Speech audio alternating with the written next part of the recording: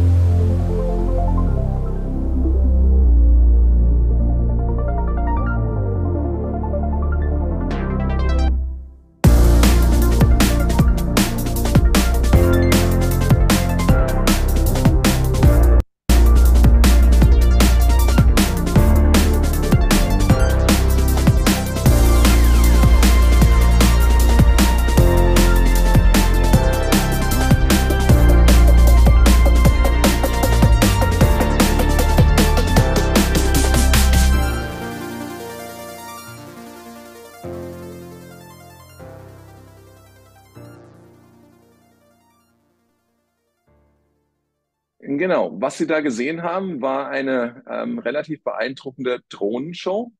Und ähm, diese Drohnenshow, ähm, mit der haben wir die KI-Woche ähm, eröffnet. Äh, Drohnen sind ähm, kleine ähm, semi-autonome Fluggeräte. und wie Sie sich vielleicht vorstellen können, jeder von diesen Lichtpunkten eine Drohne, 150 davon am Himmel. da braucht man schon eine ganze Menge intelligenter Steuerung, damit es da zu keinen Kollisionen kommt und man diese schönen Muster auch bei nicht ganz windstillen Verhältnissen tatsächlich erzeugen kann. Hat also einiges mit KI zu tun und zwar von einer, mit einer Art KI, wo es vor allem auch um Sicherheit und Robustheit geht. Dazu mehr jetzt gleich im Vortrag. Ich möchte das Ganze anfangen mit einem Zitat ähm, des berühmten Schriftstellers und Piloten Antoine de Saint-Exupéry. Ich übersetze das gleich mal ins Deutsche für diejenigen, die das Französische jetzt nicht ganz so gut lesen. Was die Zukunft betrifft, so geht es nicht darum, sie vorherzusehen, sondern sie möglich zu machen. Das ist ein Motto, was sicherlich zur RWTH ganz gut passt, passt aber auch sehr gut zur KI. Ähm, es gibt hier ein anderes schönes Zitat ähm, von vor ein paar Jahren. Künstliche Intelligenz ist die Zukunft nicht nur für Europa, sondern für die Menschheit. KI bringt enorme Chancen, aber auch Risiken, die schwer abschätzbar sind. Wer in diesem Bereich die Führung übernimmt, wird die Welt beherrschen. Klingt interessant, auch vielleicht ein bisschen beunruhigend. Ähm, und das wirkliche Zitat klingt noch ein bisschen beunruhigend. Das ist nämlich äh, nicht so, sondern da ging es um Russland. Und äh, das hat der Herr Putin gesagt, schon am 1. September 2017 mehr als drei Jahre vor ChatGPT, mehr als ein Jahr, bevor man in Europa angefangen hat, wirklich ernsthaft über KI nachzudenken. Und das sollte einem zu denken geben. Ne? Das ist jetzt nicht unbedingt jemand, äh, vor dem man großen Respekt haben muss, der Herr Putin, aber es ist jemand, der augenscheinlich in die Zukunft geschaut hat, in einer gewissen Art und Weise und etwas gesehen haben, was mittlerweile jetzt alle sehen können, nämlich dass KI enorme Chancen, enorme Risiken hat und ganz sicherlich ähm, ein ganz wichtiger Faktor sein wird ähm, in den geopolitischen Veränderungen der nächsten Jahrzehnte. Aber was ist KI überhaupt? Sie haben vorher schon Vorträge zu dem Thema gehört. Trotz allem möchte ich mit Ihnen kurz meine Definition teilen, weil nämlich zum Thema KI es ganz viele verschiedene Definitionen gibt, die sich zum Teil auch widersprechen. Ähm, und ich denke, da ist es gut, wenn Sie mal eine Definition von jemandem sehen, der sich technisch mit diesem Thema jetzt bereits seit über 25 Jahren äh, auseinandersetzt. Und nach dieser Definition ist KI sind Algorithmen und Systeme, die menschliche Wahrnehmungs-, Sprach- und Denkprozesse nachbilden, unterstützen oder auch übertreffen können, die auf der Grundlage großer oder auch kleiner Datenmengen lernen, Schlussfolgerungen ziehen und Vorhersagen treffen, die menschliche Wahrnehmung replizieren oder verbessern und dann auch Menschen bei der Diagnose, Planung, Zeitplanung, Ressourcenzuweisung und Entscheidungsfindung unterstützen können die physisch und intellektuell mit Menschen und anderen KI-Systemen kooperieren können. Das sind alles wichtige Aspekte. Und aufgrund dieser Eigenschaften eignen sich KI-Systeme ganz besonders gut, besser als alle anderen technischen Systeme zur Automatisierung und Delegation. Und darin liegt die Macht dieser KI-Systeme und das Potenzial.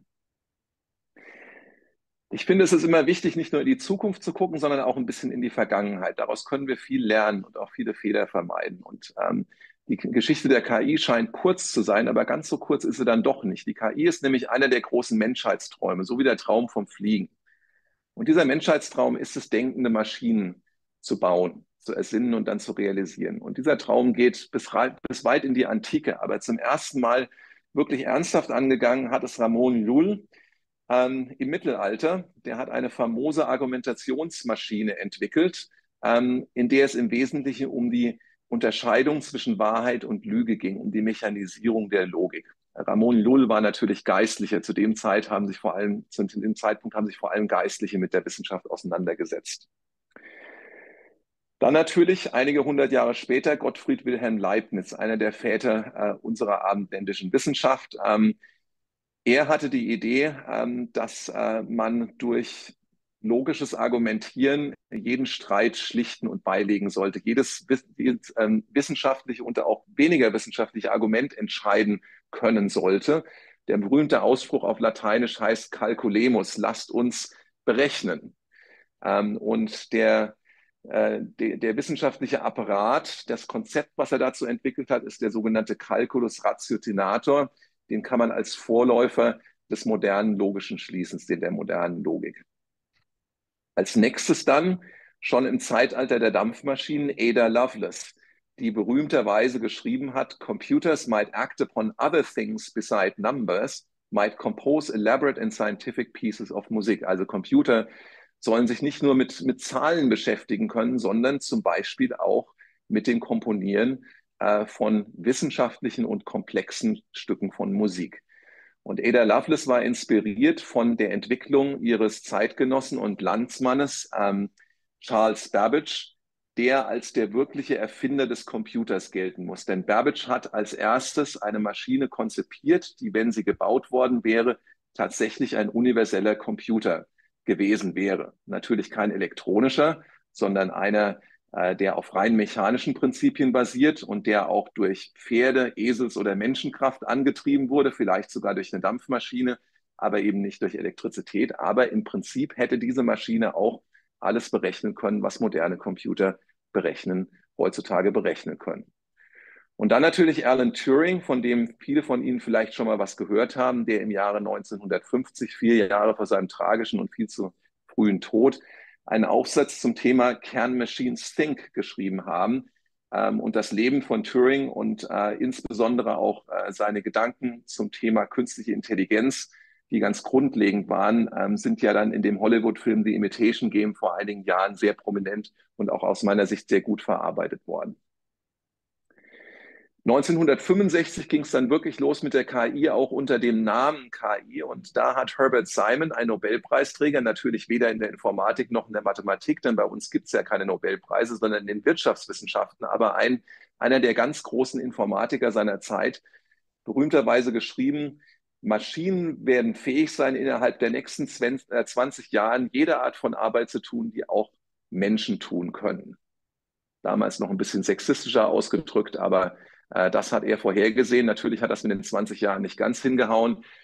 Ähm, hier ist Herbert Simon, ein Schachspieler, der natürlich auch als Schachspielen als eine dieser Aufgaben gedacht hat. Und Computer sahen damals ungefähr so aus. Das war so die Größenordnung. Ein ganzer Raum voller Maschinen. Und was man damals in so einem Raum voller Maschinen für das heutige Äquivalent von Millionen von Euros oder Dollars hatte, das haben wir heute an Rechenkraft am Handgelenk. So, wie wird KI unsere Gesellschaft verändern? Das ist nicht das Hauptthema für heute, aber ich möchte das trotzdem deutlich sagen, ganz grundlegend. Und warum ist das so? KI verändert alles. Und warum ist das so? Naja, KI ist ähm, genau wie auch Intelligenz eine Kombination aus Lernen und logischem Schließen und noch einigen anderen Ingredienzien ist. Aber auf das Lernen und logische Schließen möchte ich mich heute konzentrieren, weil das auch ein wichtiges Thema in der KI ist. So ist KI eine Kombination aus maschinellen Lernen automatischen Schließen, sollte es zumindest sein. Ne? Aus Analogie Intelligenz, Lernen und logisches Schließen. KI, maschinelles Lernen und automatisches Schließen. Das sind zwei sehr, sehr wichtige Felder in der KI. So, was ist maschinelles Lernen? Maschinelles Lernen ist die automatische Anpassung von mathematischen Modellen oder Computerprogrammen an gegebene Anwendungssituationen, also an Daten. Ja? Und insbesondere ist maschinelles Lernen die Erzeugung von Vorhersagemodellen aus Daten, zum Beispiel in der Gesichtserkennung, auch Erkennung von Sprache, beim äh, Detektieren von Kreditkartenmissbrauch, bei der Wettervorhersage. Und wir wissen, das ist nicht immer hundertprozentig ähm, genau und präzise, aber es funktioniert in der Regel gut genug, um nützlich zu sein in all diesen Fällen. Maschinelles Lernen basiert auf Methoden aus der Statistik und Optimierung. Da stecken äh, im Prinzip äh, mehr als 50 Jahre relativ komplexer Mathematik dahinter, um maschinelles Lernen, so wie wir es heute kennen, möglich zu machen. Ein Beispiel, was mir besonders selbst am Herzen liegt, weil es auch aus meiner Arbeitsgruppe in dem Fall kommt, ist die Vorhersage der Giftigkeit von Chemikalien auf aquatische Lebewesen, also Fische, einfache Wasserpflanzen und Einzeller, die so im Wasser leben. Warum ist das wichtig? Das ist wichtig, weil man ähm, solche Arten von Vorhersagen benutzt, ähm, wie wir gleich noch genauer erfahren werden, um zum Beispiel Tierversuche äh, bei der Entwicklung ähm, von äh, Kosmetika, bei der Entwicklung von Shampoos und lauter solchen Sachen, ähm, äh, um Tierversuche dort einzusparen. Worum geht es hier? Es geht um die automatische Konstruktion eines Vorhersagemodells aufgrund experimenteller Daten. Das nennt man Training. Ähm, und dieses Vorhersagemodell soll sagen, für eine neue chemische Substanz, ähm, ist das giftig für dieses Wasserleben oder ist es nicht giftig? Dann überprüft man das Modell auf bekannten Daten, die aber nicht in der Konstruktion verwendet worden, also unabhängigen neuen Daten. Das nennt man Testing. Und dann kann man dieses Modell aufgrund von Ähnlichkeiten zwischen Organismen, also zum Beispiel verschiedenen Arten von Fischen, ähm, kann man das verbessern. Und das nennt man Meta-Learning. So, und das dann bedeutet, dass man bei der Beurteilung dieser Substanzen, ähm, die man zum Beispiel beim Duschen ähm, in den Abfluss spült, nicht wahr? Ähm, äh, kann man verurteilen, ähm, ob die giftig sind oder nicht für die Meereslebewesen, denn natürlich landet das Wasser erst in der Kläranlage, dann in den Flüssen und dann schließlich im Meer. Und das bedeutet weniger Laborversuche an Lebewesen und erhebliche Kosteneinsparungen. Und das ist ein gutes Beispiel dafür, was maschinelles Lernen uns bringen kann. Ich sagte maschinelles Lernen, automatisches Schließen. Was ist automatisches Schließen? Sie haben sicherlich alle schon mal gehört, vielleicht sogar in der Schule, dass es sogenannte Syllogismen gibt. Das sind ähm, altbekannte antike Schlussregeln, ähm, die einem was darüber sagen, wie man gültige logische Schlüsse zieht. Ähm, und hier ist vielleicht der berühmteste davon, alle Menschen sind sterblich, Sokrates ist ein Mensch und deswegen ist Sokrates auch sterblich. Diese Art von Schlussregel funktioniert auch im folgenden Fall. Alle Vögel können fliegen, alle Pinguine sind Vögel und Pinguine können daher fliegen. Stimmt aber nicht. Pinguine können nicht fliegen. Ähm, die Schlussregel ist trotzdem richtig, aber es ist eben einfach nicht richtig, dass alle Vögel fliegen können. Und natürlich kann man aus einer falschen Prämisse allen möglichen Unsinn schlussfolgern. Und das passiert auch in der KI. Ähm, das läuft im Englischen unter dem Motto Garbage in, Garbage aus. Müll rein, kommt auch Müll nachher raus. Beim logischen Schließen ist das nicht anders. Es gibt viele Figuren in der Fiktion und auch im wirklichen Leben, die durch ihre logische Schlussfähigkeit oder Schließfähigkeiten ähm, Berühmtheit erlangt haben. Hier haben wir Sherlock Holmes, Mr. Spock und Miss Marple. Ähm, sicherlich äh, Figuren, die dem einen oder der anderen von Ihnen gut bekannt sind. Und natürlich ähm, rühmt man auch Albert Einstein nicht wegen seiner Lernfähigkeit, sondern eher wegen seiner logischen Schlussfähigkeit aufgrund von und Beobachtungsfähigkeit. Wobei bei Einstein war es eher die theoretische Physik, da hat es also viel mit Schließen zu tun und ein bisschen weniger mit Beobachten. Ein gutes Beispiel für automatisches Schließen, auch wiederum was, was wir in unserer Gruppe erforschen, ist die korrekte Funktion von Computer-Hardware, also den Arten von Chips, die nicht nur in Laptops sind, sondern auch in Handys, in Autos, in Flugzeugen. Denn Computer sind Logikmaschinen. Diese Chips sind Logikmaschinen, nicht wahr? Innen drin passiert alles mit Nullen und Einsen, das haben Sie sicherlich alle schon mal gehört. Und deswegen kann die Funktion von Computer-Hardware durch logische Formeln beschrieben werden. Und zwar präzise und vorhersagbar die korrekte Funktion und Fehlerfreiheit, also das Nicht-Auftreten oder die Unmöglichkeit bestimmter Fehlerzustände, zum Beispiel Speicherüberläufe oder falsche Zugriffe auf Speicher, auf den man gar keinen Zugriff haben sollte, kann man dann durch automatisches Beweisen von bestimmten logischen Formeln beweisen. Und diesen Beweis kann man automatisch führen. Den muss man sogar automatisch führen, weil den mit der Hand zu führen, äh, wäre absolut unrealistisch bei der Art von Komplexität von Hardware, die wir heute so haben und auch brauchen. Und damit sind KI-Methoden zum automatischen Schließen ähm, routinemäßig im Einsatz beim Nachweis der Fehlerfreiheit von Computer-Hardware und zunehmend auch Software. Nun werden Sie sagen, Software ist aber nicht fehlerfrei, die hat Bugs, ne? das ist auch richtig. Das hat was damit zu tun, dass ähm, diese automatischen Fehlerfreiheitsnachweise e-, enorm rechenintensiv sind und mit derzeitigen Methoden man das für große Stücke Software, wie zum Beispiel die Microsoft Office Software, noch überhaupt gar nicht machen kann. Aber man kann es für zum Beispiel kleine Module von Steuersoftware von Flugzeugen und Autos tun und genau dort wird es auch eingesetzt. So, künstliche Intelligenz ist also maschinelles Lernen und automatisches Schließen. Beides, ganz, ganz wichtig. Künstliche Intelligenz ist aber auch zunehmend die automatisierte Erstellung von Computersoftware. Warum ist das wichtig? weil Computersoftware heute in fast allen drinsteckt, in fast allen technischen Systemen und auch in vielen Systemen, von denen wir es gar nicht denken, zum Beispiel in unseren Waschmaschinen, äh, in anderen Haushaltsgeräten, ähm, in Spielzeug. Ähm, ob wir das gut finden oder ist nicht, ist nicht eine andere Frage, aber Computersoftware ist da drin und läuft da drin. Und der größte Flaschenhals bei der Erstellung von Software ist in der Tat der Mensch sind die ist die eingeschränkte Verfügbarkeit von Programmiererinnen und Programmierern, von Leuten, die das wirklich gut können. Können Sie bei jedem Industrieunternehmen in Deutschland zurzeit nachgucken, Programmierer gesucht. Wenn man Teile dieser Aufgabe automatisieren kann, dann hat man natürlich enorme Vorteile. Und genau deshalb ist künstliche Intelligenz in dieser Rolle auch der Schlüssel zum Fortschritt in allen Wissenschaften und allen Ingenieursdisziplinen. Ich würde vorsichtig voraussagen, dass innerhalb der nächsten 20 Jahren es im Wesentlichen kaum noch Fortschritt in irgendeiner Wissenschaft und in irgendeiner Ingenieursdisziplin gibt, wo nicht in irgendeiner Art und Weise KI-Systeme zumindest mit beitragen. Mit beitragen. Das nicht ausschließlich machen, aber eben mit zum Einsatz kommen. Genauso wie heute Computer zum Einsatz kommen. Genauso wie vor 50 Jahren mathematische Methoden zum Einsatz gekommen sind. Und das natürlich auch immer noch tun. KI ist damit eine Schlüsseltechnologie nicht nur für besseres Forschen und besseres Entwickeln, sondern vielleicht sogar und hoffentlich für eine bessere öffentliche Verwaltung und, so meine ich, für die Lösung der großen Probleme unserer Zeit. Die Pandemie leider ja immer noch nicht ganz ausgestanden und die nächste kommt leider, leider auch bestimmt. Klimawandel, meines Erachtens das größte Problem dieser Generation und wahrscheinlich auch der folgenden, Ressourcenverteilung und viele andere. Bei all diesen Problemen ist KI nicht der Schlüssel, aber ein Schlüssel zur Lösung. Ein ganz wichtiges Werkzeug.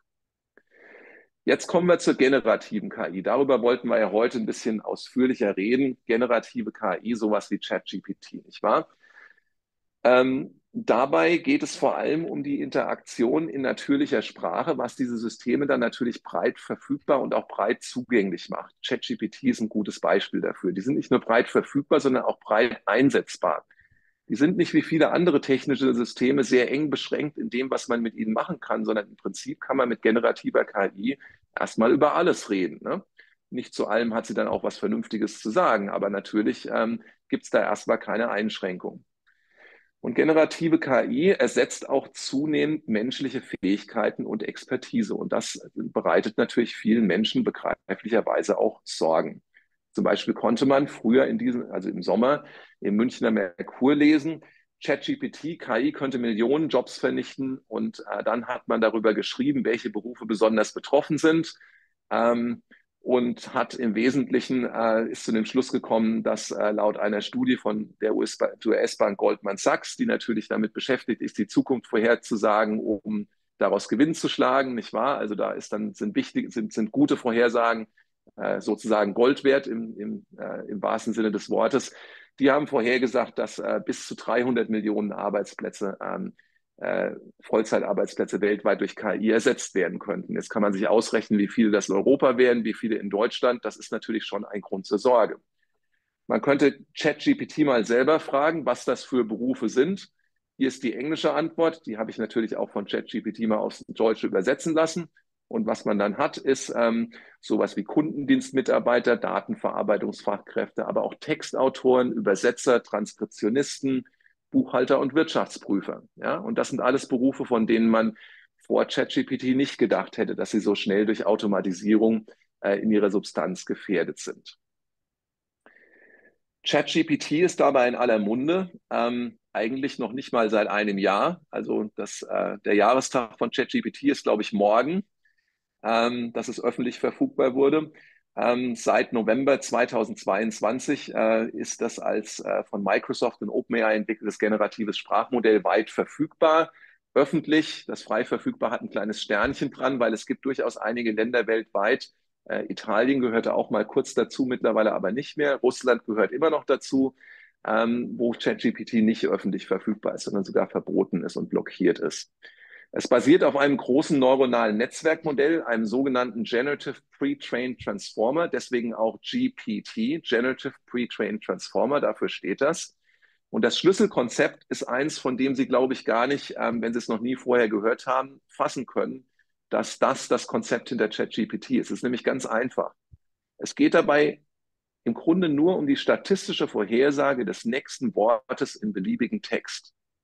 Das heißt, wenn ich jetzt irgendwas zu Ihnen sage und dann plötzlich im Satz stehen bleibe, dann können Sie das nächste Wort erraten. Und das kann ChatGPT auch. Und nicht nur das nächste, sondern auch das übernächste und überübernächste.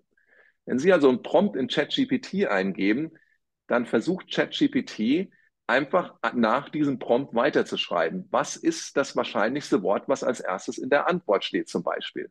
Ja? Und natürlich ähm, ist das jetzt erstmal erstaunlich, dass das so gut funktioniert, aber das ist wirklich das grundlegende Prinzip. Und dass es so gut funktioniert, hat eine Menge damit zu tun, wie genau man diese statistische Vorhersage macht und auf welcher Datenbasis. Und dazu sollte man sich kurz daran erinnern, was ein neuronales Netzwerk ist. Das ist nämlich die zugrunde liegende Technologie. Die ist lose, aber wirklich nur ganz lose von einem vereinfachten Modell des menschlichen Gehirns inspiriert. Man versucht nicht das Gehirn nachzubauen. Man ist ganz lose inspiriert davon. Was hat man hier? Man hat hier sogenannte künstliche Neuronen. Hier ist so eins. Und dieses künstliche Neuron, das kriegt Eingänge von ein paar anderen künstlichen Neuronen oder Eingaben, Pixels in einem Bild, ähm, äh, Eingaben von einem Mikrofon, Buchstaben in einem Text, kann alles Mögliche sein. Diese Eingaben werden gewichtet mit Gewichten W1 und W2 hier und dann aufsummiert. Das ist also einfach eine gewichtete Summe dieser Eingaben. Dann wird eine nichtlineare Transformation darauf ausgeführt. Ähm, das gehen wir mal nicht ins Detail. Das ist eine relativ einfache mathematische Funktion und das gibt uns dann eine Aussage. Und so macht dieses Neuron aus einem x1 und einem x2 ein y. Ja? Und x1 und x2 müssen nicht unbedingt Zahlen sein, sind aber in der Regel schon Zahlen. So, das sind neuronale Netze. Ähm, Natürlich im Netz wird es erst, wenn man mehrere dieser Dinger zusammenschaltet und so sieht das dann aus. Hier hat man eine Menge von Eingaben. Man könnte sich jetzt zum Beispiel vorstellen, Pixel auf dem Bildschirm, ne? ähm, könnten aber auch Zahlen in der Rechenaufgabe sein, Buchstaben äh, in einem Wort, Worte in einem Text, ähm, lauter solche Sachen. Hier hat man sogenannte Hidden Layers, die heißen Hidden, weil man sie weder von außen noch von innen sehen kann. Die sind halt zwischendrin. Jedes von denen macht diese gewichteten Summen und, ähm, und wendet dann die nicht lineare Transformation an. Und dann macht man das in mehreren Stufen. Also zum Beispiel, wenn man das Ergebnis hier hat, dann gilt dieses Ergebnis als Eingabebilder für hier drüben diese nächsten, ähm, diese, diese nächsten, äh, diese nächste Schicht. Und am Ende hat man eine Ausgabeschicht, die einem dann ein oder mehrere Ausgaben liefert. Im Falle von ChatGPT könnten das zum Beispiel die Worte sein, die dann als nächstes ausgegeben werden. So, nun ist natürlich ähm, die Frage, was kann man mit neuronalen Netzwerken machen? Es gibt ein mathematisches Resultat, ganz berühmt, das sagt auf Englisch, can approximate any function, kann jede Funktion approximieren, jede beliebige Funktion. Das Netz muss nur groß genug sein. Und im Fall von ChatGPT sieht die Grobarchitektur von dem Netz so aus. Das ist aus einer der Originalpublikationen aus dem Jahre 2017, die die sogenannte Transformer-Architektur beschreibt. Ja, ähm, die ChatGPT in veränderter Form zugrunde liegt. Ich werde jetzt nicht erklären, was jedes einzelne Modul hier bedeutet, aber im Wesentlichen stehen hinter diesen farbigen Modulen ähm, Teile eines großen neuronalen Netzwerks. Ja? Gut. Derzeitige generative KI-Systeme basieren auf überwachten maschinellen Lernen mithilfe dieser Transformer-Modelle aus enormen Datenmengen. Da ist alles aus Wikipedia drin, da sind viele Bücher drin, ähm, Fachzeitschriften, aber auch Nachrichtenartikel und ähm, soziale Medienposts von ähm, Twitter zum Beispiel. Und aus dem letzten sehen Sie schon, dass da sicherlich auch eine ganze Menge fragwürdiges Zeug und eine Menge Unsinn drin ist. Und jetzt denken wir wieder an Garbage in, Garbage out. Das sollte uns dann auch schon darauf vorbereiten, dass natürlich ähm, auch vielleicht aus ChatGPT eine Menge Unsinn rauskommen kann, da es auf eine Menge Unsinn trainiert ist. Nicht nur auf Unsinn, aber auf manchen Dingen, die eben auch fragwürdig oder vielleicht sogar ähm, nach geradezu bösartig und falsch sind. Das reicht aber nicht. Überwachtes maschinelles Lernen reicht nicht. Man braucht dazu noch bestärkendes Lernen von menschlichen Reaktionen. Das heißt im Englischen Reinforcement Learning from Human Feedback oder RLHF, RLHF. Und äh, bei ChatGPT hat man das gemacht durch die Ausbeutung von Hunderten und Tausenden billiger Arbeitskräfte in Afrika. Also eine ethisch höchst, höchst fragwürdige Geschichte. Wenn also irgendjemand erzählt, ChatGPT ist durch ewigen äh, Einsatz von Rechenzeiten ähm, erzeugt worden, dann ist das nur zum Teil richtig. Da steckt auch ganz viel menschliche Arbeitskraft drin und zwar nicht nur von den Wissenschaftlern, die das Modell entwickelt haben, das Transformer-Modell, die ähm, und trainiert haben, sondern eben auch äh, durch diese billigen Arbeitskräfte, die ausgebeutet wurden, ähm, zum bestärkenden Lernen von menschlichen Reaktionen. Und was diese Leute gemacht haben, ist im Wesentlichen, die haben mit äh, ChatGPT äh, gearbeitet, geguckt, ne, wenn ich jetzt irgendwas reingebe, was kommt raus und dann bewertet, ist das gut oder nicht. Und haben auch sich Eingaben und Ausgaben von anderen angeguckt und gesagt, ist das gut oder nicht. So. Was können ChatGPT und ähnliche Modelle und was können sie nicht? Und da ist die Geschichte so ein bisschen wie in dem berühmten amerikanischen Film The Good, The Bad and The Ugly, also die guten, die schlechten und die nach geradezu hässlichen Neuigkeiten gibt's hier. Die guten Neuigkeiten oder die guten Fähigkeiten sind, ChatGPT und ähnliche Modelle können qualitativ sehr hochwertige Sprache erzeugen. Und weil bei Menschen die Erzeugung qualitativ hochwertiger Sprache, also das sich gewählt ausdrücken, häufig korreliert mit dem Bildungsstand und auch mit der Intelligenz und mit der intellektuellen Leistungsfähigkeit, ähm, schätzt man auch sehr schnell die intellektuelle Leistungsfähigkeit von ChatGPT sehr hoch ein, durch diese hochwertige Sprache, durch das sich gewählte Ausdrücken. ChatGPT kann recht gute Dialoge erzeugen, ähm, kann auch mit Menschen gut in Dialog treten. Es kann Texte übersetzen, häufig ganz vernünftig, nicht so gut wie eine richtig gute Übersetzerin oder Übersetzer, aber schon sehr ordentlich als Arbeitsgrundlage. Und es kann relativ einfache und manchmal auch kompliziertere Fragen auch manchmal ganz gut beantworten. Also nützlich. Jetzt kommen wir zum Schlechten. Was kann es nicht so gut oder was macht es nicht so gut? Ähm, es gibt das Problem der Halluzination, Pseudofakten, ähm, Falschheiten, die von ChatGPT behauptet werden, logische Falschheiten, faktische Falschheiten, historische Falschheiten, ähm, Dinge, die einfach nicht stimmen. Woher kommt das? Es ist ein statistisches Modell. Aus statistischen Modellen kann man nicht nur Wahrheiten erzeugen. Statistik kann auch Falschheiten erzeugen.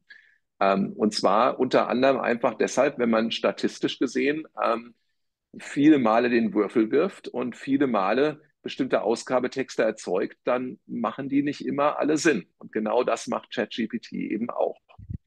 Ähm, ChatGPT hat Stereotypen und Vor Vorurteile, unter denen es ähm, leidet und die es auch weitergibt. Und das hat was damit zu tun, dass Stereotypen und Vorurteile in der Datengrundlage, auf der es trainiert wurde, und auch in dem, äh, in dem äh, Human Reinforcement Learning äh, vorhanden waren.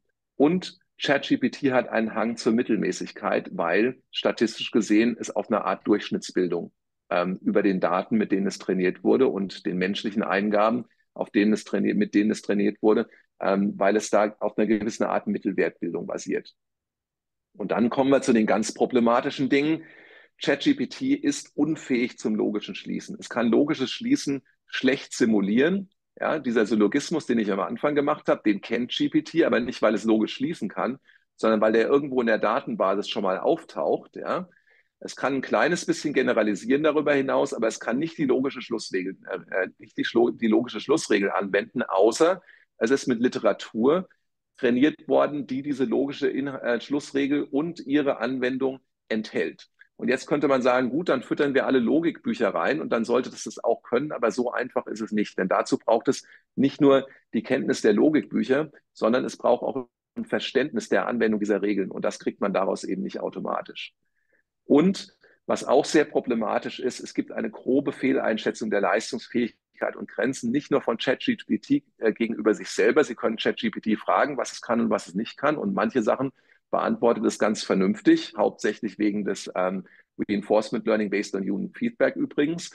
Ähm, aber es gibt auch eine ganze Menge wirklich grober Fehleinschätzungen und noch schlimmer, ChatGPT verleitet aufgrund seiner gewählten Ausdrucksfähigkeit ähm, und auch aufgrund des Marketings, das leider dahinter steckt, denn immerhin handelt es sich um eine kommerzielle Entwicklung, ähm, es, äh, es gibt auch viel grobe Fehleinschätzung zum Thema ChatGPT bei Menschen und bei menschlichen Anwendungen, äh, Anwenderinnen und Anwendern. Gut, und einige dieser äh, auch durchaus sehr übertriebenen ähm, Einschätzungen liegen jetzt auch Aufrufen wie diesem hier zugrunde, ähm, dass äh, man sich äh, große Sorgen über KI-Technologie machen sollte. Ähm, ich würde persönlich sagen, ich habe diesen übrigens selber auch mit unterschrieben, nicht weil ich denke, dass die derzeitige Technologie diese Art von Problemen verursachen kann, sondern weil es durchaus denkbar ist, dass weiterentwickelte Technologie solche Probleme verursachen könnte und es nie wirklich zu früh ist, sich darüber Gedanken zu machen. Ähm, aber die wirklichen Gedanken, die man sich machen sollte, sind andere. Nun ist es so, dass in der Öffentlichkeit künstliche allgemeine Intelligenz stark diskutiert wird, unter anderem, weil das Unternehmen, was ChatGPT produziert hat, OpenAI, sich auf die Fahne geschrieben hat, ganz offiziell, ähm, AGI, Artificial General Intelligence, künstliche allgemeine Intelligenz zu erzeugen, also starke KI. Worum geht es dabei? Es geht um die Abdeckung aller Aspekte menschlicher Intelligenz. Es geht um das Ziel, alle intellektuellen menschlichen Fähigkeiten vollständig nachzubilden und die Folge wäre natürlich, dass Menschen in allen intellektuellen Tätigkeiten auch vollständig ersetzt werden könnten. Also zum Beispiel auch ich, Herr Nagel und Sie alle. Und das ist natürlich eine Zukunft, die nicht so besonders nett ist, denn wenn das passiert, was passiert, dann sitzen wir dann am Strand und freuen uns nicht wirklich, denn es ist bekannt aus der Psychologie, dass der Mensch einen guten Teil seines Bewusstseins darüber, ähm, seines, seiner, seiner Selbstwertschätzung darüber erfährt, dass er nützlich ist. Und nützlich werden wir dann nicht mehr, wenn wir vollständig ersetzbar sind. Das heißt, das wäre nicht nur nicht wünschenswert, sondern es wäre auch gefährlich, weil natürlich solche Systeme sich auch nur sehr schwer kontrollieren ließen. Auf der anderen Seite ist das zurzeit sehr unrealistisch. Alles, was man von OpenAI zu dem Thema hört, dass man ganz kurz davor steht zum Beispiel, ist aus meiner fachkundigen Hinsicht völliger Unsinn. Wir sind relativ weit davon entfernt, trotz allem, genauso wie man, wie es gut ist, dass sich manche intelligenten Leute Gedanken über einen möglichen Asteroideneinschlag auf der Erde, der irgendwann mit Sicherheit passieren wird, aber hoffentlich nicht innerhalb der nächsten tausende Jahren, sondern vielleicht innerhalb der nächsten hunderttausend oder Millionen von Jahren. Genauso sollte man sich auch über künstliche allgemeine Intelligenz gewisse Gedanken machen. Und die Vergangenheit hat gezeigt, dass man manchmal schneller bestimmte Entwicklungsstufen erreicht in der KI, als sich das selbst die Expertinnen und Experten so träumen lassen. Ich hätte auch sowas wie ChatGPT ähm, 2021 noch nicht vorhergesagt. Ne? Und dann 2022 war es schon da. Was uns aber viel mehr zu denken geben sollte, ist dieses hier. Das ist ein Artikel aus der Huffington Post, eine relativ interessante Publikation, wo man auch hin und wieder mal technisch äh, sehr interessante Artikel liest, äh, oft auch ein bisschen gesellschaftskritisch. Und hier heißt es, äh, als Software-Testerin ähm, stelle ich die Sicherheit von selbstfahrenden Autos, von autonomen Autos in Frage. Und diese Patricia Hörtmann, die ist eben eine Software-Testerin, das ist deren Profession. Und die sagt, aus ihrer fachkundigen Sicht ähm, ist es, sind wir einfach in Bezug auf Softwarekorrektheit überhaupt gar nicht so weit, dass wir auch nur sicherstellen können, dass solche Systeme vernünftig funktionieren. Und das ist ein Beispiel für dringlichere KI-Risiken, zum Beispiel problematischer Einsatz von KI-Systemen äh, zur Desinformation, Manipulation auch von politischen Prozessen, Überwachung. Davon haben Sie, glaube ich, in einem der vorhergehenden Vorträge schon mal was gehört. Ich möchte es also nicht vertiefen. Natürlich KI-Risiken auch zum Thema Arbeitsplatzverlust und soziale und wirtschaftliche Ungerechtigkeit.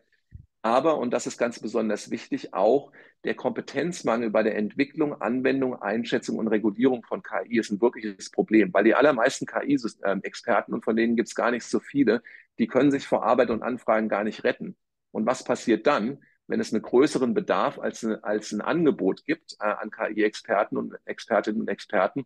Dann werden Leute, die halt erst vorgestern oder gestern oder gestern Abend zu KI-Experten geworden sind, die werden dann befragt. Und das hat natürlich gewisse Probleme, die das mit sich bringt.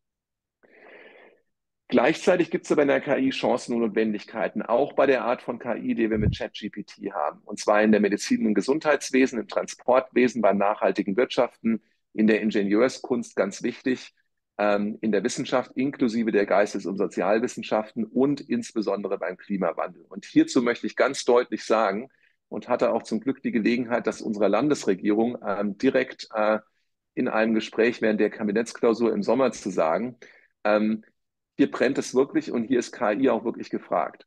Ich weiß nicht, wer von Ihnen ähm, diese Art von Nachrichten gesehen hat, aber ehrlich gesagt, dieses Diagramm ist das, was, finde ich, jeden und jede zum Nachdenken bringen können. Was wir hier sehen, ist ähm, das Meereseis, ähm, in dem Fall in der Antarktis.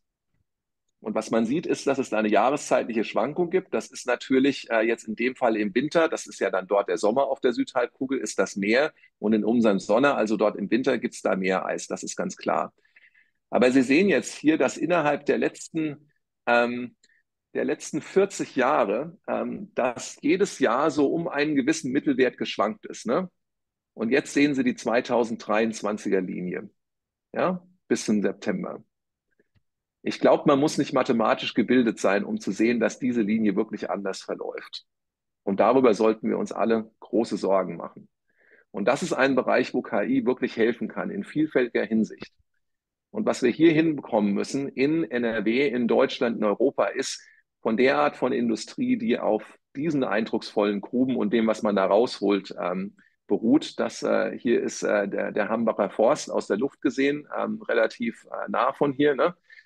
Ähm, davon müssen wir weg und wir müssen hin zu KI-getriebener Wirtschaft, die einfach nachhaltiger funktioniert. Und dazu ist die wesentliche Frage, welche von KI, Art von KI wollen wir eigentlich? Und das ist keine technische Frage, das ist eine ähm, das ist erstmal eine soziale Frage, die aber dann ganz viele technische Konsequenzen hat. Und das ist menschzentrierte KI. Wir wollen KI, die menschliche Intelligenz nicht ersetzt, sondern erweitert und ergänzt. Wir wollen KI, die menschliche Fehler und Schwächen ausgleicht, statt sie einfach nur nachzubilden. Und da sehen Sie schon, AGI, die Art von KI, die ChatGPT zugrunde liegt, die versucht ja Menschen nachzubilden, auch in ihren Fehlern und Schwächen. Das brauchen wir gar nicht, das wollen wir gar nicht. Wir wissen genau, wie wir mehr Menschen erzeugen können. Ne?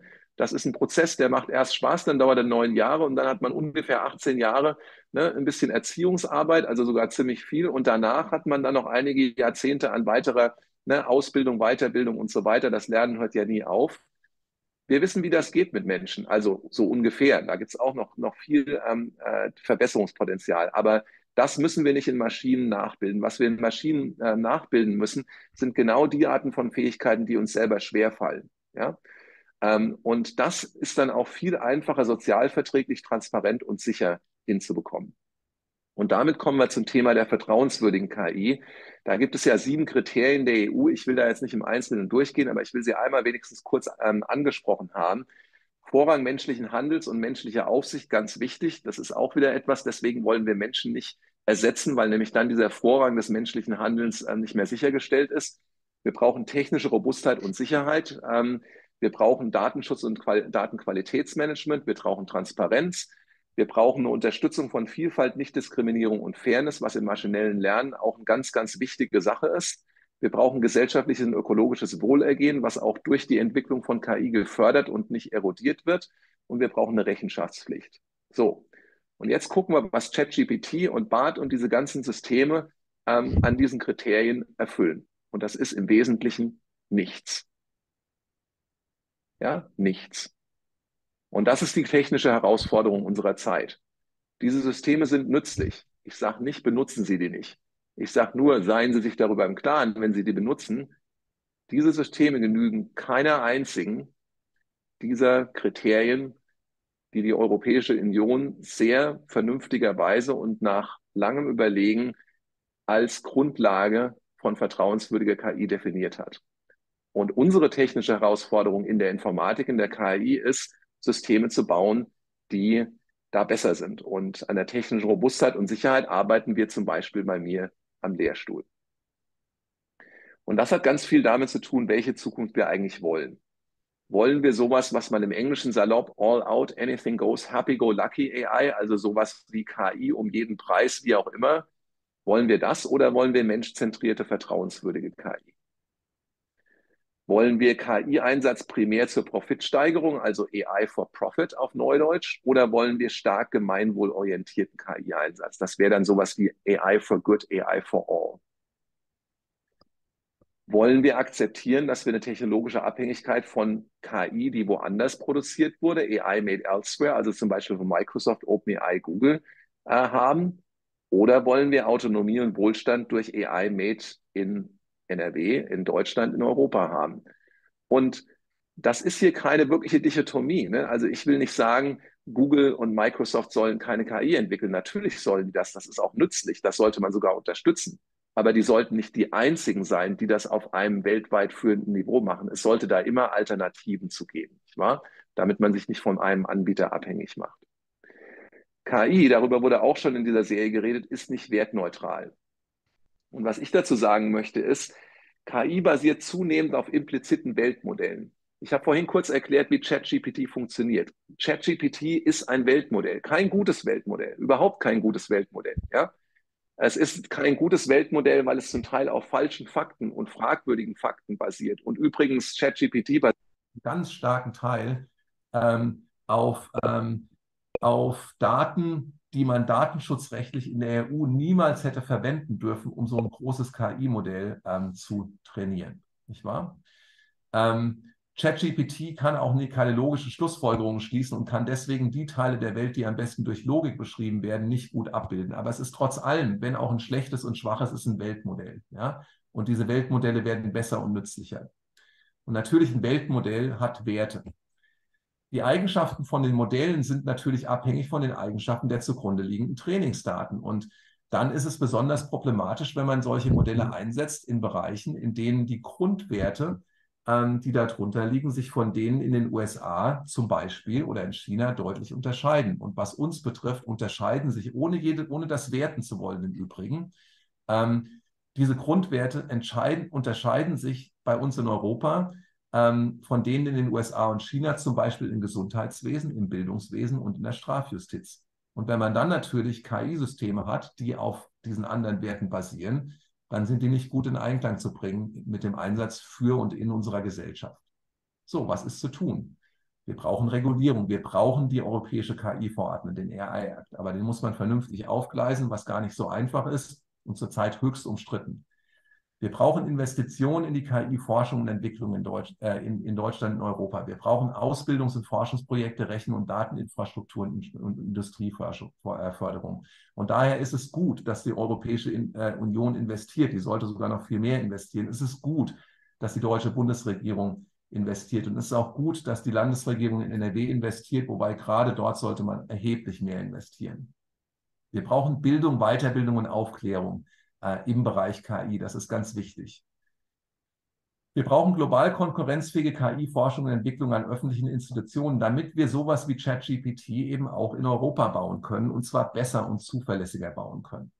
Und dazu brauchen wir, so meine ich, in der EU eine Art CERN für KI, eine Großforschungseinrichtung, die die Rechenpower hat und auch das Talent und die Konzentration von Rechenpower und Talent, ähm, wie man sie im Bereich der, der Elementarteilchenphysik am CERN hat, das brauchen wir äh, für die KI und das wäre schön, das in Europa zu haben. Wir brauchen in Deutschland eine Ausbau und eine stärkere Vernetzung der KI-Kompetenz und in NRW brauchen wir eine Bündelung und Förderung von KI-Kompetenz, wie zum Beispiel das in Bayern, in Baden-Württemberg, in Hessen und im Saarland schon ein bisschen besser ähm, gestaltet worden ist. Aber da sind wir an der RWTH sehr gut dabei, auch mit unseren Partnern äh, in anderen, an anderen NRW-Standorten. Zum Beispiel wollen wir da und hoffen wir auch sehr eng mit der Uni in Bonn äh, mit, der, äh, mit der Universität in Dortmund ähm, und mit den Fraunhofer-Instituten äh, in Bonn und Dortmund zusammenzuarbeiten äh, und natürlich auch mit dem Forschungszentrum Jülich.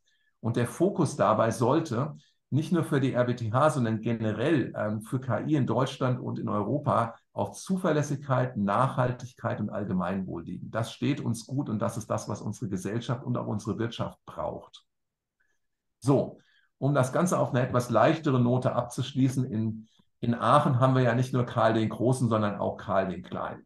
Und zur KI-Woche wurden jetzt extra ein paar Klein, Karl der Kleine Strips für uns hier in Aachen am KI-Zentrum der RWTH produziert. Das ist eine davon. Herzlichen Dank auch hier nochmal an Neufried, ähm, der das für uns gemacht hat, den Künstler. Ähm, und hier sagt Karl der Kleine, sehr äh, jahreszeitlich gemäß auch die KI muss mit einer Unmenge von Daten gefüttert werden, um all diese unglaublichen Dinge hervorbringen zu können. Ich muss dafür nur ein paar Printen futtern. Ja? Ähm, wir hatten unsere KI-Woche, ich habe jetzt eingangs schon erwähnt, ähm, da ging es um Forschen, Umsetzen, Erleben. Es gab Vorträge, Diskussionen, es gab auch ähm, ne, Spaß für die ganze Familie. Es gab viel Karl der Kleine. Wenn Sie das verpasst haben, machen Sie sich keine Sorgen. Wir machen noch weitere Veranstaltungen vom KI-Center. Herr Nagel hat es schon gesagt, das KI-Center gibt es jetzt zwar schon äh, ein kleines bisschen länger, als ich an der RWTH bin, also ich bin keiner der Mitgründer, aber äh, als ich und ein paar andere Leute dazugestoßen sind, haben wir sozusagen dann äh, kritische Masse erreicht mit den exzellenten Leuten, die sowieso schon vorher auch hier waren. Und die sind wirklich exzellent. Deswegen bin ich ja auch unter anderem an die RWTH gekommen. Und diese kritische Masse hat jetzt dazu geführt, dass wir halt auch eine ganze Menge von äh, tollen Initiativen und Aktivitäten haben, und ich denke, dass da werden Sie auch noch einiges von hören und einiges miterleben können. So, ganz zum Schluss nochmal zurück zu Saint-Exupéry. Die Zukunft soll man nicht voraussehen wollen, sondern äh, man soll sie möglich machen. Und genau das ist das, was wir mit der KI hier an der RWTH in Nordrhein-Westfalen, in Deutschland, in Europa tun wollen und auch tun werden. Und zwar die Art von Zukunft, die von der KI profitiert und die Art von KI, die unsere Zukunft lebenswerter und weniger sorgenreich macht, statt uns zusätzliche Sorgen über die Zukunft zu bescheren. Damit herzlichen Dank für Ihre Aufmerksamkeit. Ich hoffe, das eine oder andere war interessant für Sie und ich denke, Herr Nagel, wir haben auf jeden Fall eine Viertelstunde Zeit für Fragen, vielleicht sogar 20 Minuten, nicht wahr? Ja. Also vielen herzlichen Dank für den Vortrag, der mir in verschiedener Hinsicht bemerkenswert erschien. Zum einen gab er eine recht schöne Übersicht über das ganze Gebiet. Äh, zum zweiten waren da äh, eine ganze Reihe von selbstkritischen Untertönen zu spüren, die man nicht in jedem KI-Vortrag hört. Zum Dritten war die Verbindung mit äh, dem Menschen äh, dauernd zu spüren. Das heißt, das äh, wird nicht eine die große Lawine geben und dann wird alles ersetzt, aber es wird eine Reihe von Schritten geben, wo man was tun kann in Verbindung zwischen KI und Mensch.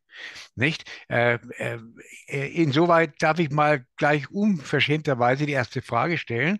Wenn man äh, jetzt die, äh, die, äh, diese Aspekte sieht, gibt es dann sowas wie eine ungefähre Vorhersage, wo man sagt, so in drei Jahren sind wir da, in fünf Jahren sind wir da, in zehn Jahren sind wir da, in 20 Jahren sind wir da. an sinnvollen Beispielen, was man mit der KI machen kann.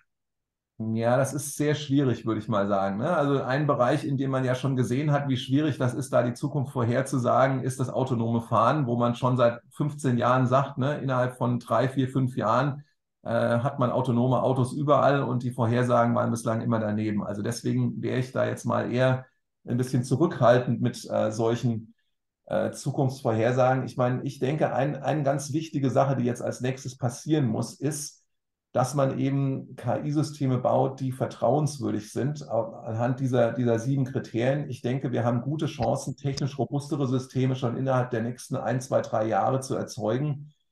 Sind die robust genug, um sie zum Beispiel in kritischen Bereichen wie in der Medizin ähm, einzusetzen? Ja, in gewissem Maße schon. Da wird ja auch schon KI eingesetzt. Aber werden wir eine Version von ChatGPT haben, die man dort so richtig ohne Bedenken einsetzen kann, da bin ich mir nicht so sicher. Ähm, mhm. da braucht es eine ganze Menge Forschung, von der zurzeit niemand so richtig weiß, wie sie zu bewerkstelligen ist. Das würde ich mal als große Herausforderung bezeichnen. Zurück zum autonomen Fahren. Hier würde ich eine Vorhersage machen und die ähm, ist, dass selbst innerhalb der nächsten fünf Jahre man immer noch nicht voll autonom fahren kann zumindest nicht auf europäischen Straßen und europäischen Städten. Ähm, in Kalifornien gibt es ja Modellversuche, die so lala funktionieren, würde ich mal sagen. Ne?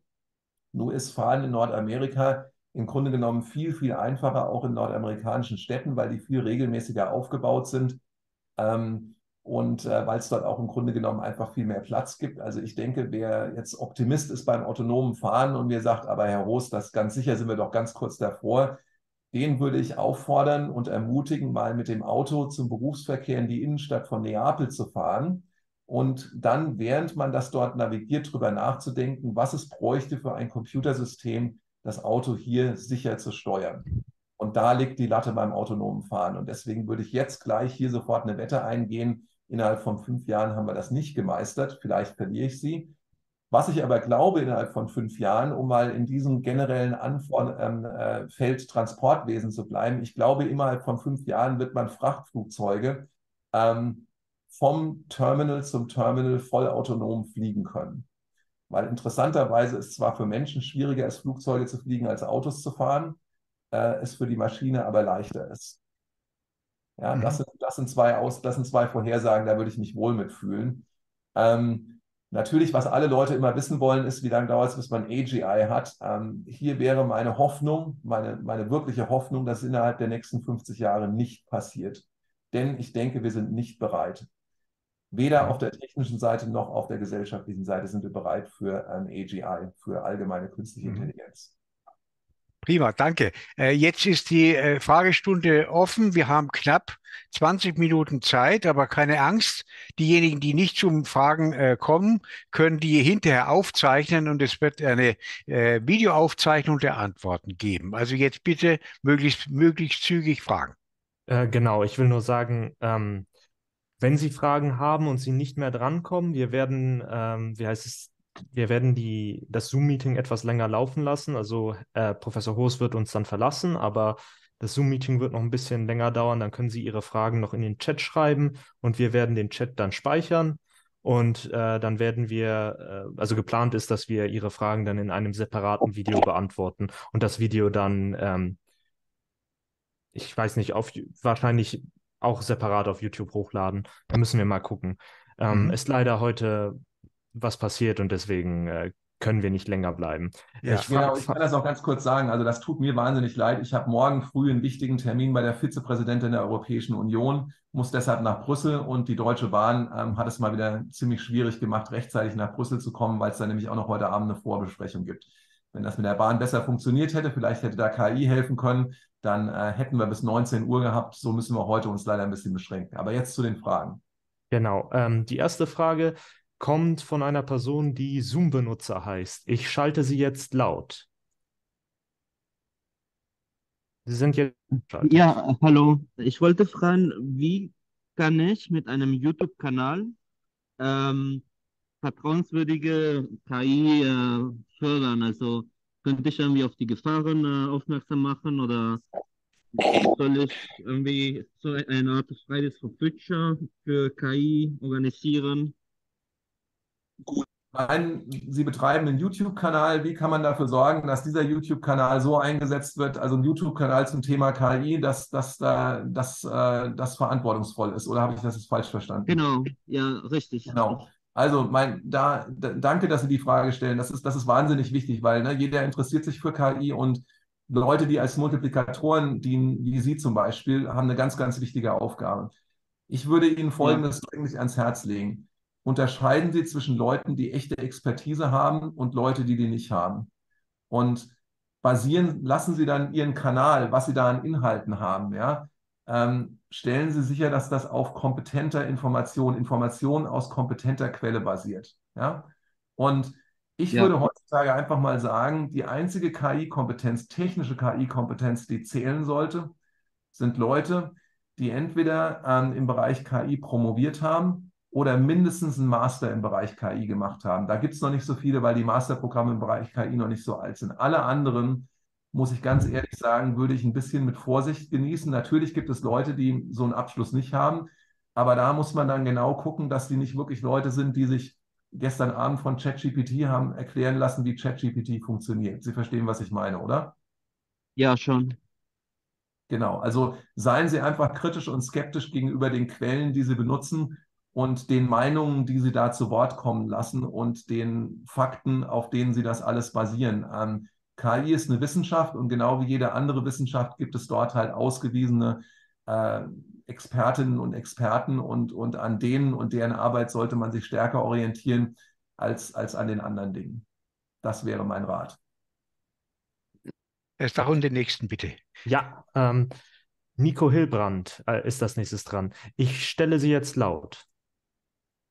Sie sind ja, jetzt laut gestellt. Ähm, genau, erstmal danke für den Vortrag, das war sehr interessant. Äh, genau, also meine Frage wäre es, äh, wie wir möglichst defensive Technologien beschleunigen können. Ähm, und da genau spezifisch auch, wie optimistisch Sie sind, dass automatische Verifikation oder andere KI-Methoden äh, dabei helfen können, kritische Infrastruktur wie äh, Militärsysteme, DNA-Synthesemaschinen äh, und weiteres zu schützen. Ähm, genau, um halt irgendwie Misuse von äh, Bad Actors oder von KI-Modellen selber zu verhindern.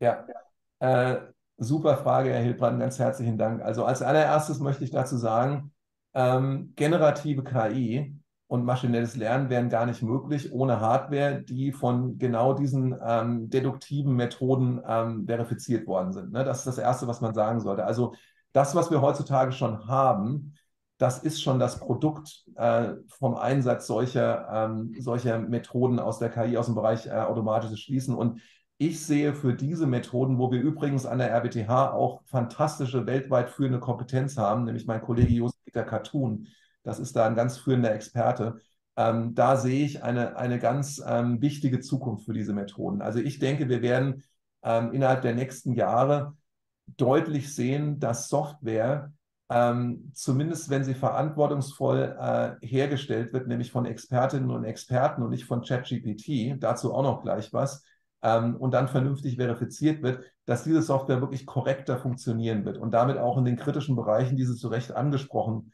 haben, ähm, besser einsetzbar wird und, und, und ne, wo man sie halt auch einfach ohne das Risiko einsetzen kann. Also das sehe ich ganz deutlich, weil diese Methoden auch enorm erstarkt sind in den letzten ähm, 20 Jahren. Das, das wissen noch so viele Leute, weil das irgendwie nicht so sexy ist, aber auch dort hat es enormen Fortschritt gegeben.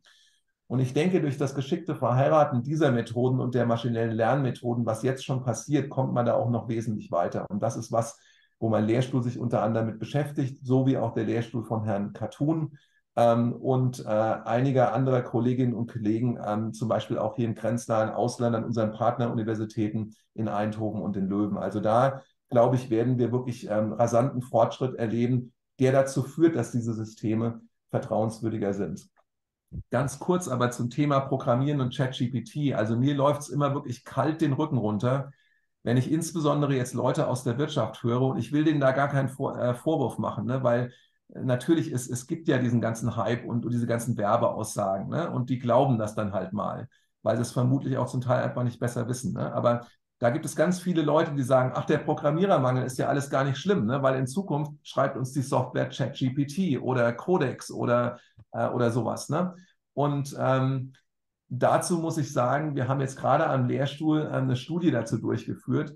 Ähm, deswegen kann ich Ihnen das sogar kompetent sagen.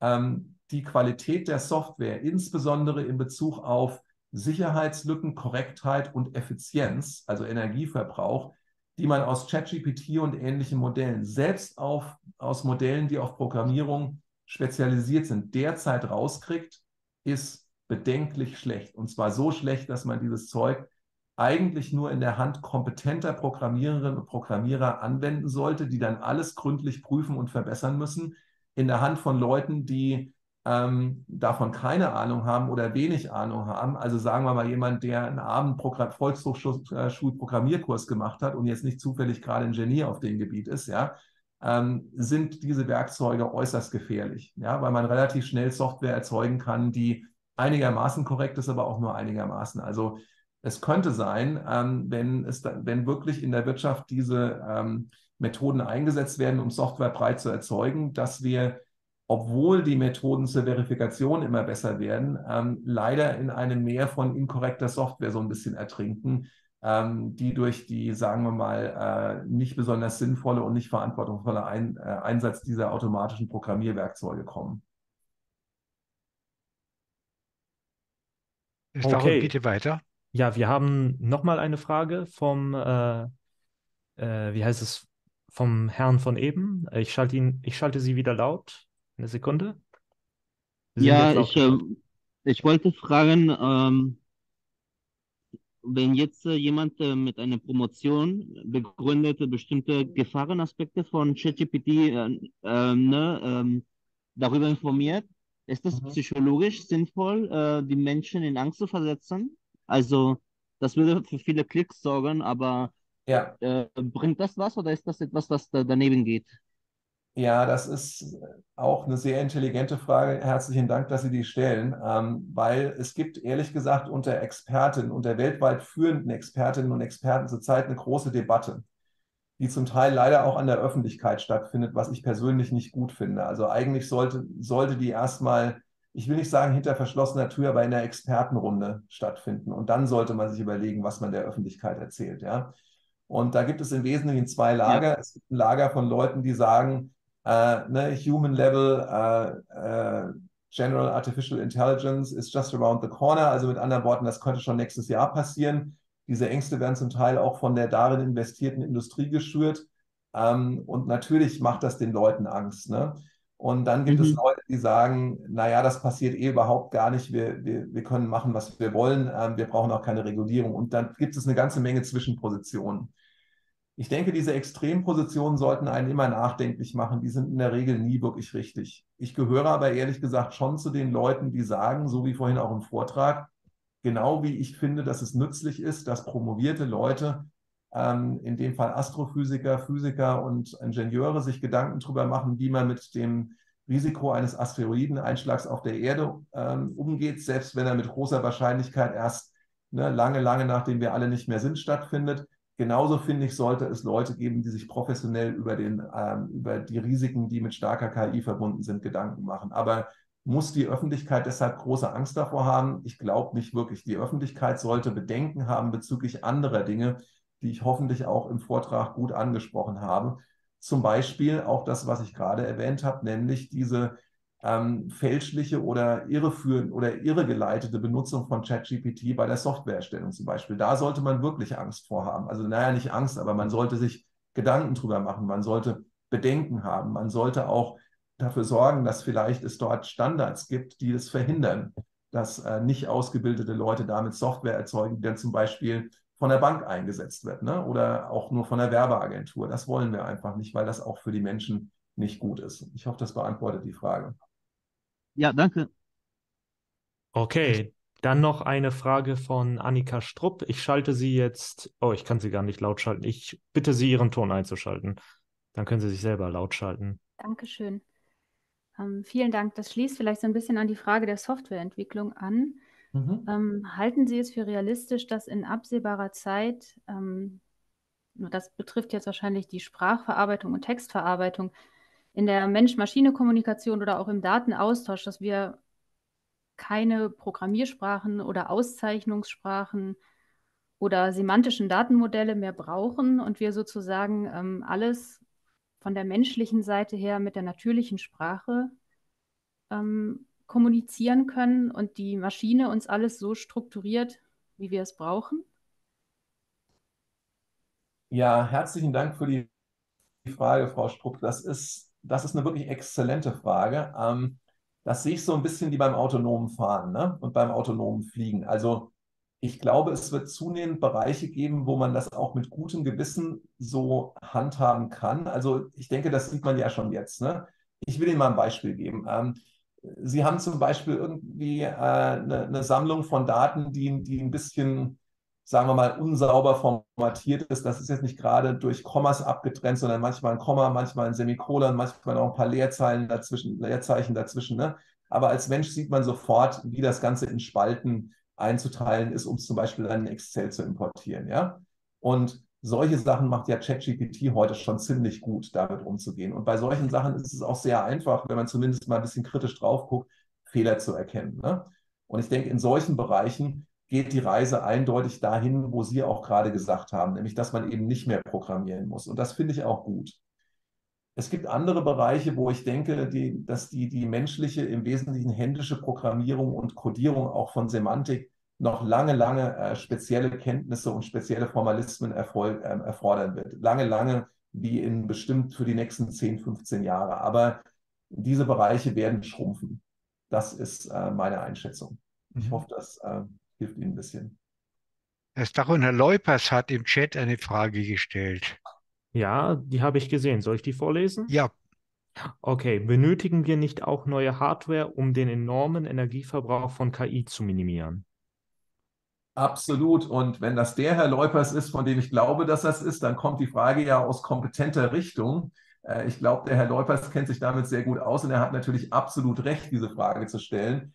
Ja, Wobei ich immer auf der Position stehe, in anderen Vorträgen, die ich äh, gebe, habe ich auch ein sehr schönes Beispiel dazu, dass man ähm, softwaretechnisch mindestens genauso viel Energie einsparen kann wie hardwaretechnisch, weil nämlich natürlich jeder, ähm, jeder Berechnungszyklus, den man gar nicht erst laufen lassen muss, der spart ja auch Energie. Ne? Ähm, trotz allem bin ich der festen Meinung, dass gerade im Bereich bei, von KI, was ja sehr, sehr rechenintensiv ist, auch wegen der großen Datenmengen ne, und der schweren Probleme, die man da hat, ähm, ist es absolut essentiell, sowohl auf der Hardware-Seite als auch auf der Software-Seite, als auch insbesondere im Zusammenspiel zwischen der Hardware und Software, ähm, so viel Energie wie möglich zu sparen. Und ich denke, ähm, persönlich glaube ich, dass man auf der Hardware-Seite genug sparen kann, dass es sich auf jeden Fall lohnt zu investieren in die Entwicklung KI-spezifischer neuer Hardware. Gut, ähm, wir haben noch eine Frage von ähm, Herrn Hilbrand. Ich schalte sie wieder laut. Genau, also meine Frage wäre, äh, wie wir das Alignment-Problem lösen können. Also sicherstellen können, dass falls wir KI-Agenten mit Zielen entwickeln, äh, diese dann Ziele ähm, lernen, die mit unseren kompatibel sind ähm, und genau nicht das Problem aufkommt, dass sie Ziele in den Trainingsdaten äh, lernen, die dann aber falsch generalisieren, wie beispielsweise das, das Ziel, möglichst hohen Reward oder möglichst viel positives ja. Feedback zu bekommen. Genau. Ja, danke für die Frage. Also ähm, meine Antwort hat zwei Teile. Der erste Teil ist rein technisch gesehen, ist die Datenqualität einfach super entscheidend. Und das, was äh, Microsoft OpenAI gemacht hat, nämlich im Prinzip erstmal alles reinzuschmeißen, ist halt, glaube ich, nicht der Weg dazu, dass man nachher was Vernünftiges rauskriegt. Ne? Ähm, es gibt da ein schönes Beispiel im Bereich automatische Übersetzung, war ähm, bis zu einem bestimmten Zeitpunkt vor ein paar Jahren eigentlich Google Translate so ein bisschen der Goldstandard, zumindest von dem, was ähm, frei verfügbar war. Ähm, und dann hat eine deutsche, ein deutsches Startup namens DeepL es tatsächlich geschafft, Google auf diesem Bereich zu schlagen. Wie haben die das gemacht? Google hatte ne, im Prinzip fast alle Daten der Welt und DeepL hatte das nicht. Die haben das gemacht, soweit ich weiß zumindest, indem sie einfach sehr, sehr sorgfältig äh, hochqualitative Daten äh, zusammengestellt haben. Also weniger Daten, sorgfältiger ausgesucht, ähm, denke ich, ist eine gute Strategie, übrigens auch um, um Energie beim Lernen zu sparen. Das zweite, die, der zweite Aspekt des Alignment-Problems ist aber das, was man häufiger mal im Zusammenhang mit AGI hört, ne? also mit starker KI. Und das ist die Frage, wie kriegt man das hin, dass die KI-Systeme, so sie denn überhaupt irgendeine Art von Intentionalität oder Werten beinhalten, und ich habe ja gesagt, wertneutral sind die nie, ähm, dass das halt mit unseren menschlichen Werten möglichst gut übereinstimmt. Und da geht es nicht nur um die Daten, sondern ich will es mal ganz grob vereinfacht sagen, das ist einer der Gründe, weshalb man keine AGI-Systeme erzeugen sollte, zumindest nicht zum derzeitigen Zeitpunkt, weil eigentlich niemand eine gute Antwort auf das Alignment-Problem hat. Nun gibt es Kollegen, berühmte Kollegen wie zum Beispiel Stuart Russell, ähm, der sagt, er hat eine Lösung für das Alignment-Problem. Ich muss ehrlich sagen, so sehr ich äh, Professor Russell schätze, ähm, an seine Lösung glaube ich nicht. Ähm, das, was er da vorschlägt, wäre keine wirkliche AGI ähm, und das ist dann vielleicht auch besser, ne? sondern es wäre so eine Art AGI an die Kette gelegt. Ich finde es aber problematisch, schon den ganzen Grundansatz zu verfolgen, Systeme zu machen, die möglichst menschähnlich sind, weil wie schon vorhin gesagt, ich glaube, die KI-Systeme, die, die, die Menschheit braucht, die wir brauchen, ja, ähm, sind nicht äh, KI-Systeme, die unsere Stärken und Schwächen nachbilden, sondern es sind KI-Systeme, die unsere Schwächen ausgleichen und uns sozusagen komplementieren, die uns die uns zusammen mit den KI-Systemen besser machen. Und das machen KI-Systeme dann besonders gut, wenn sie stark sind in dem, in dem wir schwach sind. Mhm. Und dazu müssen sie vielleicht auch nicht überall stark sein in, dem, in den Dingen, in denen wir schon stark sind. Ja? Vielen Dank. Ich glaube, wir können das so auch als Fazit des heutigen Vortrags äh, betrachten. Ähm, wir müssen die Diskussion jetzt leider schließen. Ähm, falls Sie noch Fragen Gute Reise haben, nach Brüssel. Herzlichen Dank. Ich sehe gerade, mein Zug hat angeblich zehn Minuten Verspätung, sagt die Deutsche Bahn. Aber ehrlich gesagt, auch darauf möchte ich mich nicht wirklich verlassen ja. und deswegen lieber mal trotzdem gleich zum Bahnhof eilen. Genau, genau, genau. Ich danke Ihnen, Herr Nagel, ähm, für die Gelegenheit, den Vortrag zu halten. Ihnen, Herr Stachon, für den technischen Support und die Unterstützung und allen, die anwesend waren, ähm, für die Fragen und auch für das äh, interessierte Zuhören. Ich hoffe, Sie haben das ein oder andere da rausgenommen, was für Sie auch interessant ist. Wie gesagt, ich werde versuchen, Fragen, die noch im Chat gekommen sind, äh, im Nachhinein zu beantworten und wir werden das dann auch online stellen. Und ich hoffe, dass auch Leute, die sich das Video später angucken, irgendwas Interessantes in meinen Ausführungen finden. Mhm. Damit ganz herzlichen Dank. Danke nochmal. Allen mhm. einen schönen Abend. Vielen Dank. Tschüss. Also wir machen jetzt einfach weiter. Sie können Ihre äh, Ihre Fragen äh, stellen, auch am besten äh, äh in, in, in Ton. Wir zeichnen das dann auf und es wird die Antworten geben als Erweiterung des Videos. Ich bitte also jetzt um die weiteren Fragen, die nicht zum, noch nicht zum Zuge gekommen sind. Ich denke, es wäre besser, wenn wir die nur in, im Chat aufnehmen. Aber äh, also wir werden den Chat auf jeden Fall speichern. Wir lassen sie noch 15 Minuten, naja, was sag ich, ich denke mal 10 Minuten können wir sie noch äh, in dem Meeting lassen. Und falls Sie noch Fragen haben, ähm, stellen Sie sie einfach im Chat und wir sammeln die dann und äh, versuchen sie dann in einem separaten Video zu beantworten.